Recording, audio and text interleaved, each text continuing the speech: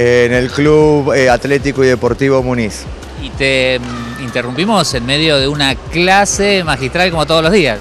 Sí, sí, sí. Acá, acá eh, los chicos se entrenan martes y jueves y sábado, a la vez hacen preparación física. Eh, sí, pero trabajan acá tres veces por semana y los que están más avanzados, que se llama divisional B y A e internacional, los hago entrenar en otros clubes míos el resto de los días de la semana. Muy bien, ¿cómo es esto de dar clases, de acercar a la gente que por allí le tiene un poco de miedo, no sabe bien con qué se va a encontrar? ¿Vos qué le decís? Es que en realidad, eh, por tantos años de dar clase, por experiencia propia, 25 años, eh, he probado darle a, los, que, a los eh, gente que viene por primera vez, le gusta la disciplina y quiere empezar. Pero como bueno, ya lo hago hace 20 años más o menos competitivo, entonces claro, el training, la forma de dar la clase es más la exigencia, entonces, ¿qué hago? Trabajo en los dos clubes que estoy como titular, a la gente que, quiere empezar la actividad eh, los dejo con ayudantes, se llaman monitores. Son alumnos que elijo yo, los más avanzados que tengo en cada club, y a ellos los pongo a dar, vendría a ser que se llamaría el grupo iniciación. Claro, porque verlo es hermoso, pero después practicarlo es todo un tema.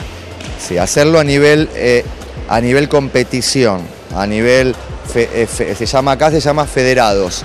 Eh, que eso tenés de, mediante la federación, te permite poder llegar, según el nivel de cada chico, hasta un mundial. Que de hecho acá ha salido Alan Velázquez y hemos ido a China, Alemania, Italia, España.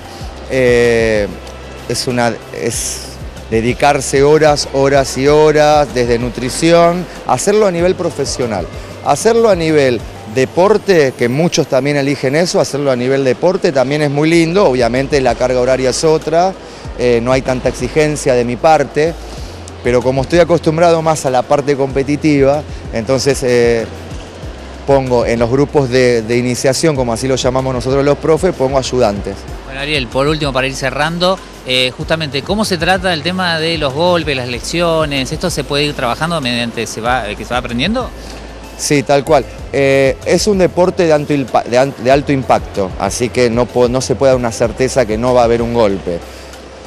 Cada 10 patinadores de avanzados, uno puede tener una lesión grave, pero pasa muy de vez en cuando. Ahora, uno como entrenador, a ese nivel, ya uno le hace hacer preparación física y también ahí prepara el cuerpo para amortiguar los golpes. Obviamente que hay golpes que no se pueden evitar, pero ya lo vas acostumbrando al, atleta, ¿sí? a los impactos, al ser de un nivel alto, tienen mayor probabilidad de, caerse y tener un impacto. Bueno, por último, ¿qué días, qué horarios y cómo hacen los que quieren venir a probar esto? Eh, los horarios son martes y jueves, tenemos eh, tres grupos.